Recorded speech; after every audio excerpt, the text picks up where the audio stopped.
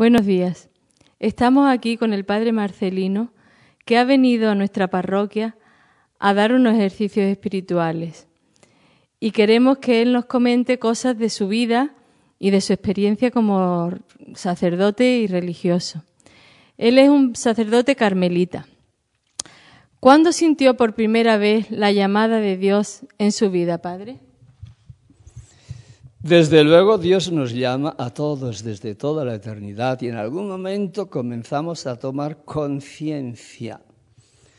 Mi primera conciencia en la infancia yo diría que fue una llamada a ser misionero, porque yo nací en un ambiente muy misionero en Navarra, cerca de San Francisco Javier. En mi familia se recibía una revista de misiones y tenía esa ilusión de ser misionero.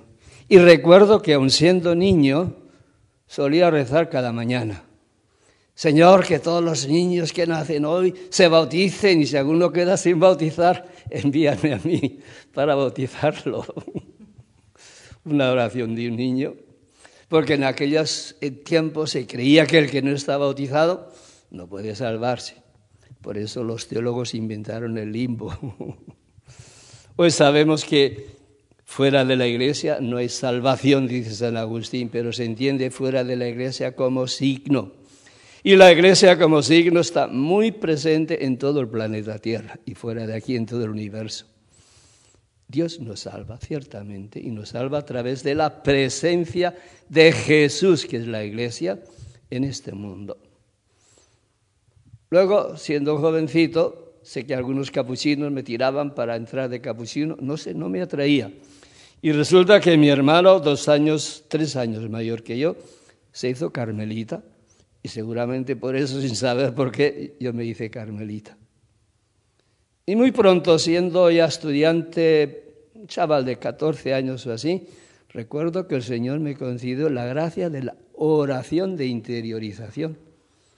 A la noche nos retirábamos y en vez de meterme en la cama, yo me quedaba junto a la cama de rodillas rezando, no sé cuánto tiempo, ni me daba cuenta. Y el director del colegio se dio cuenta, solía venir por la noche a vigilar y me pescaba a veces de rodillas a la cama, me empujaba. y otras veces cuando yo escuchaba que se acercaba, me metía debajo de las mantas y quedaba callandito y él solía acercar la, la nariz hasta mi, hasta mi cara. Yo trataba de estar serio. Luego pasé el noviciado, y siendo estudiante de teología, un poco antes de terminar los cuatro años de teología, pidieron voluntarios para las misiones en la India. Y encantado con todo entusiasmo y me apunté. Fuimos unos ocho o diez jóvenes antes de ordenarnos. Así que terminé uh, los estudios teológicos en la India en el seminario pontificio, pues que es propiedad de la Santa Sede, de San José de Alue, el mayor seminario en número en la iglesia en aquellos días. Cada año se ordenaban unos 100 sacerdotes. Y allí me ordené, luego un año en Roma para sacar el grado, porque si no, no, para ser profesor, y, me dejaron de profesor en el seminario contra mi voluntad. Yo tenía ilusión por ir a los paganos, a bautizar, a predicar. Y el rector, que era un santo, está entronizado. Eh, introducida la causa de beatificación, padre Aureliano. Me dijo, a mí me sucedió lo mismo, pues me quedé en el seminario. Y es curioso, el día de mi ordenación, cuando estábamos postrados, como se hacía entonces, estaba lleno de gratitud a Dios, Señor, ¿qué te ofreceré yo por todo lo que tú has hecho por mí? Y apenas salí de la sacristía, vi lo que tenía que ofrecerle.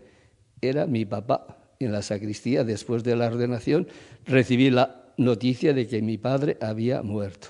Entonces no había teléfono, no sé si una carta o un telegrama, pero me enteré después de mi ordenación.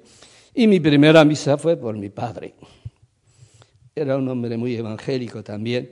Recuerdo que cuando se despidió de mí me dijo, hasta el cielo.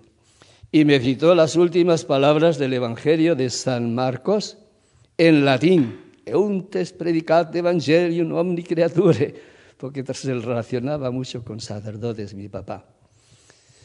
Pues murió el cielo y lo sentí, pero por otra parte lo que sentí fue alegría, alegría y gratitud.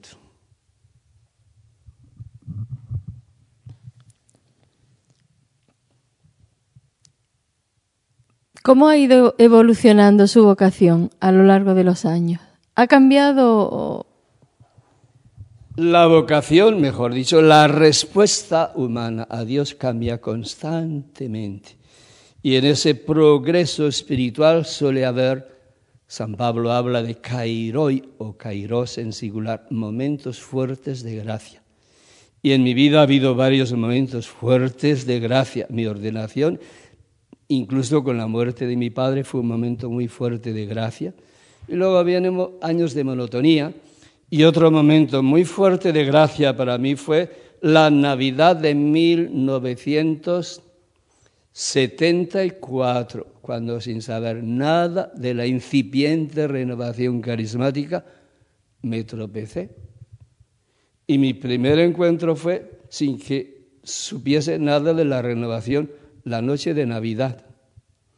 Yo tenía programados retiros por el norte de la India, llevaba ya un mes de retiros y tenía otro programa inmediatamente después de Navidad. Y resulta que ese programa se suspendió, hubo un cambio. Y desconcertado, fui a celebrar la Navidad en un convento de monjas con escuela de enfermería al norte de la India, en Hazaribat. Y me invitaron a predicar, evidentemente, la misa de la medianoche. Y esa noche prediqué un sermón que casi, casi convirtió al predicador, lo que no es fácil. Yo les hablaba del misterio de Navidad, como Dios desciende a nosotros, a nuestro nivel, por puro amor, bondad y misericordia. ¿Y qué se requiere para aceptar ese regalo de Dios? Ante todo ser misericordiosos, comprensivos y compasivos. Ese fue mi sermón. Y terminamos la misa y me retiré a mi habitación yo solito y resulta que el, Señor me había copiado el sermón y me lo repitió a mí. Y entonces me di cuenta que en mi corazón había resentimiento, especialmente hacia unas monjas muy conservadoras, no admitía, y hacia un compañero, en primer lugar, a un compañero del seminario, un profesor muy conservador. Su lema era semper idem, semper idem, aquí nadie tiene que cambiar. Y tenía resentimiento. Y ahí pedí perdón a Dios y lloré y luego escribí a la monja y al otro pidiendo perdón a Dios. Y justo esa mañana era Navidad y apareció un estudiante jesuita una monja y un seglar, que conocían la renovación y comenzamos a orar juntos y mientras oramos, yo no sé qué pasó, pero yo me sentí transformado, que el Espíritu de Dios tomó control de mi vida y eso fue creciendo, creciendo. Yo estaba muy lejos de Bombá y tenía, después de Navidad, el día siguiente, mi billete para un lugar donde iba a dar un retiro luego. Y en el camino me meto en el tren y una voz interna me decía, vete a Bombay, vete a Bombay, vete a Bombay. Yo tenía billete en la línea que iba hacia Bombay, pero terminaba a medio camino. Y a medianoche llegamos a mi término y no había ningún puesto en el, en el tren, todo estaba ocupado porque eran reservas de noche. Y entonces yo salí a la plataforma, bueno, de antemano le había dicho a un compañero de nacionalidad, digo de religión hindú, que estaba allí un profesor. Mi proyecto. Y salí en la plataforma. Señor, pues si tú quieres que vaya a Bombay, no había billetes, tú proveerás. Y sale el interventor y me dice, un señor le cede su puesto. El, el profesor hindú que me había escuchado a mí y veía mi interés en ir a Bombay. Y llegué a Bombay sin saber por qué. Y en Bombay fue a un convento de carmelitas misioneras españolas. Como siempre iba allí, allí tenía mi, siempre que pasaba por Bombay. Y vino un capellán jesuita a decir misa. Y desayunamos juntos y me dijo, ahora está empezando una asamblea de no sé qué renovación carismática en una casa de los jesuitas, en otra zona de Bombay. Y allí fuimos. Y eso fue la primera asamblea nacional, por así decir, de renovación carismática en la India. Y hablaban dos americanos. Uno había sido provincial de no sé qué orden religiosa y hablaba del entusiasmo de la vida nueva que había descubierto al reconocer la renovación y otro un pentecostal auténtico, pentecostal fundamentalista total. Cuando yo llegué hablaba el fundamentalista. No me impresionó lo que él decía, porque me parecía un poco ridículo interpretar el Apocalipsis literalmente, el milenio y todo eso.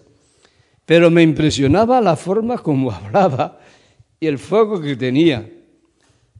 Acabó la conferencia, la mayoría de la gente salió, algunos se acercaban a uno a otro y una voz me dijo, vete a ese señor, vete a ese señor. ¿Y qué le voy a decir? Pues vete a ese señor, allí fui y le saludé y comenzamos a hablar no sé de qué y de pronto me pregunta, ¿sueles orar en lenguas? Porque para los fundamentales lenguas es señal de que ya has recibido el Espíritu. Ni sé qué es eso de orar en lenguas. Y él no me dio ni una explicación, sino que me dijo en inglés, if there was one, si hay alguno que no entienda, algo así. Me puso la mano y él comenzó a orar en lenguas y yo estaba orando en lenguas. Un rato largo. Cuando terminamos me preguntó, ¿estabas hablando en tu lengua materna? No entendí ni palabra de lo que le he dicho. No sabía que era lenguas, pero estuve hablando en lenguas, orando en lenguas mejor. Luego sí me enteré que es un don de oración muy valioso y precioso.